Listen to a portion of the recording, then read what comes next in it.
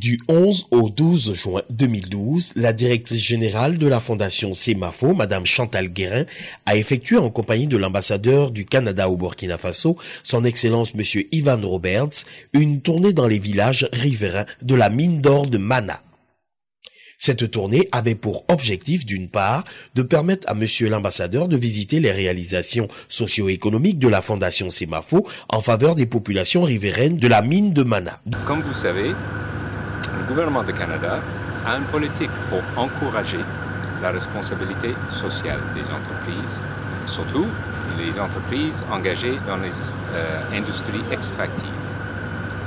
Cette politique est pour donner un avantage compétitif aux compagnies canadiennes dans les industries extractives. Je suis à la mine de, de à Mana. Je suis ici à l'invitation de la Fondation Semafo. Je suis venu parce que j'étais intéressé de voir le travail que la Fondation fait euh, dans les communautés autour de la mine. D'autre part, il s'agissait pour la directrice de la Fondation Semafo, Madame Chantal Guérin, d'aller réceptionner de nouvelles réalisations de la Fondation au profit des communautés, de suivre l'évolution des chantiers en cours d'exécution et de procéder à la pose de premières pierres d'autres infrastructures pour le bien-être des populations. La tournée a démarré par la visite de deux bibliothèques en construction dans les localités de Warkoy et de Yao. Les, travaux depuis le début nous avons suivi les normes, les dosages qui ont, été respectés du début jusqu'au stade où nous en sommes. La superficie de la bibliothèque fait environ 200 mètres carrés. Ça peut recevoir plus de 60 élèves. D'une capacité de 60 places assises chacune, ces bibliothèques, selon Madame Chantal Guérin, seront équipées de toutes sortes de documents capables d'accroître la culture générale des élèves, des enseignants et des travailleurs de ces localités. Il y aura de tout de tout, de tout. Vous allez avoir des livres académiques, vous allez avoir des romans, vous allez avoir des encyclopédies, vous allez avoir des sujets sur la faune, sur la flore. Et bien sûr, étant donné la nature ici du, euh, du site, donc le niveau secondaire, nous allons amener des, des, euh, des ouvrages qui vont préparer les, les, les, jeunes au niveau supérieur. Donc vous allez avoir des niveaux universitaires, des documents qui vont vraiment les aider à tous les niveaux là, pour se rendre à l'université. Pour le préfet du département de Warkoy et le maire de Yao, ces infrastructures viendront renforcer davantage l'offre éducative dans leur localité. Un réel motif de satisfaction euh, que de voir vraiment la CEMAFO s'investir, la Fondation CEMAFO s'investir, sur le côté communautaire, sur le côté social, et surtout l'accompagnement qu'ils ont à l'endroit euh, des élèves de différents départements. Et ça va contribuer, cette bibliothèque, à encore à l'éveil des élèves des, différents départements et aussi faciliter la tâche aux dirigeants, aux encadreurs que nous avons dans ces établissements-là. Donc nous tenons vraiment à remercier la Fondation pour euh, cet acte qu'ils ont posé. Pour le dire, c'est des sentiments de satisfaction. Nous, nous avions programmé la construction d'une bibliothèque depuis 1996. Et donc, si aujourd'hui ça se réalise, c'est un sentiment de satisfaction. Ensuite, c'est par des sons de tam-tam et des cris de joie que les populations de Yona ont accueilli la directrice de la fondation Sebafo et son excellence monsieur l'ambassadeur pour la pose de la première pierre de la plateforme multifonctionnelle que la fondation leur avait promis lors de son dernier passage dans ce village. Que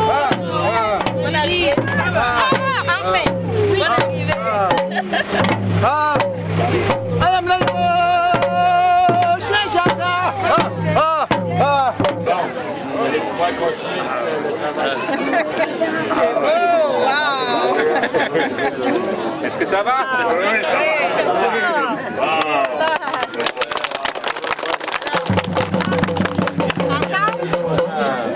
Alors, on met ça où là? Ici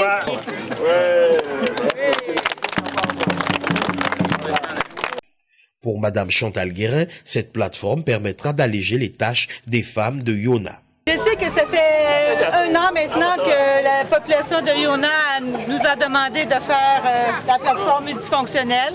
Alors, je suis heureuse qu'aujourd'hui, finalement, nous posons la première pierre. À la Fondation, nous croyons que les plateformes multifonctionnelles, c'est vraiment ce qui peut contribuer à l'émancipation des femmes. Alors aujourd'hui, ici, nous en sommes à notre cinquième plateforme. Nous avons construit quatre plateformes, une à Danguna, à Somona, à Danou, à Foubiri, que nous avons toutes équipées. La même chose ici, la plateforme va être toute équipée. Les bénéficiaires, quant à elles, n'ont pas manqué de manifester leur joie.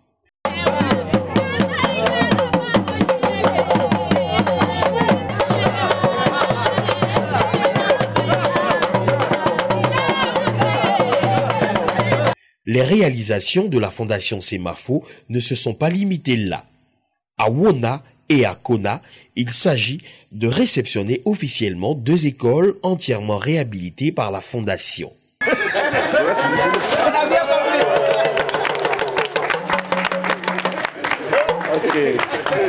L'école A de Wona a été construite en 1961, dont elle a ouvert ses portes en 1962, dont 50 ans en 2012. Grâce à Madame la directrice de la Fondation Semafo, l'école s'est régénérée et devant nous tous. Par cette joie, la population de Wona, les vieux, les vieilles, les jeunes, l'équipe enseignante, l'APE, le COGES et les élèves vous disent merci, merci infiniment. Merci pour toujours. Car vous, vous vous souciez beaucoup de, notre, de l'éducation de nos enfants. Car un enfant bien éduqué est prêt pour le développement de la nation entière.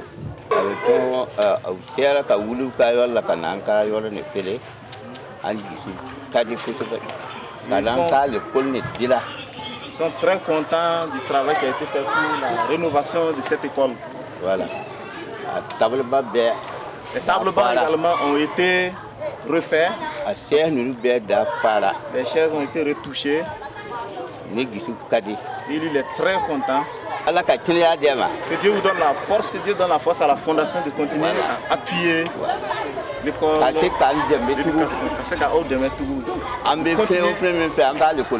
Ok. Voilà. Donc de continuer à pouvoir les appuyer dans leurs demandes. Les bâtiments qui étaient délabrés ont été rénovés, la toiture qui était basse a été remontée et les tables bancs qui étaient usés renouvelés. Cela pour permettre aux élèves d'étudier dans les meilleures conditions. Les enseignants ont également bénéficié de nouveaux bureaux et des chaises. Bon, avec la rénovation de l'école, ça nous va tout droit au cœur. L'école qui était un peu, tout ce bâtiment qui était un peu délabré, ça a été entièrement refait. Le toit qui était bas a été monté et les tablements dans les classes qui étaient en mauvais état ont été renouvelés. En tout cas, ça nous va tout droit au cœur. Ça nous permet de travailler dans de bonnes conditions et ainsi que les élèves. Il y a eu des bureaux et des chaises pour les mettre. En tout cas, ça allège le travail et ça nous motive à euh, nous mettre au travail pour le bien de ces enfants.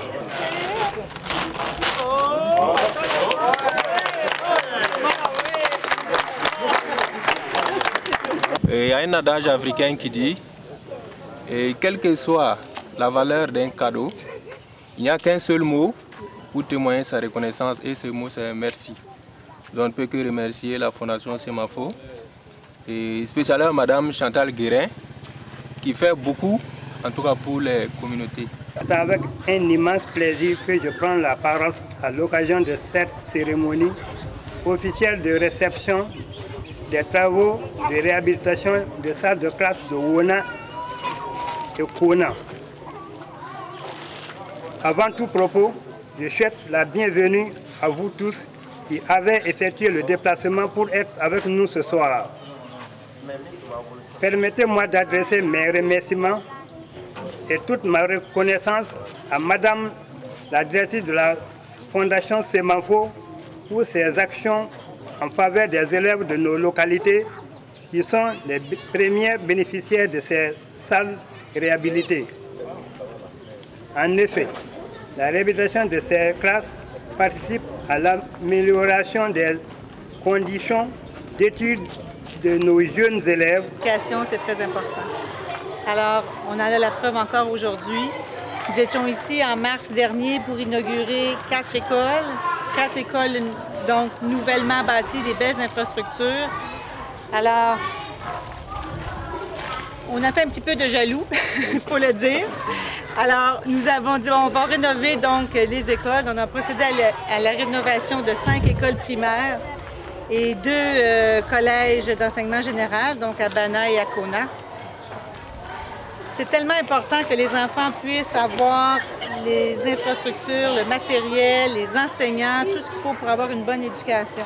Ces deux établissements ont en plus de cela reçu chacun un lot de lave-mains selon la donatrice, ce dont vient répondre aux soucis d'hygiène dont le manque est source de multiples maladies. C'est une question de santé, c'est l'hygiène. Hein? C'est l'hygiène. On, entend beaucoup euh, d'enfants qui sont malades, qui ont des diarrhées, qui ne vont pas à l'école. Donc, euh, la santé, c'est important. Donc, euh, de se laver les mains régulièrement toute la journée, la, la, latrine, après la nourriture. Donc, il n'y avait pas d'eau, les forages étaient très loin. Donc, chaque classe ait au moins un, seau, comme ça, un lave-main. Mais ça permet d'éviter justement euh, la propagation des maladies. La Caisse populaire de Wona a aussi reçu la visite de la Fondation. Ce ne sont pas les mains vides que la directrice générale de la Fondation a rendu visite à cette caisse. Elle a reçu de la fondation une moto Yamaha toute neuve pour lui permettre d'accompagner les femmes dans les activités rémunératrices de revenus.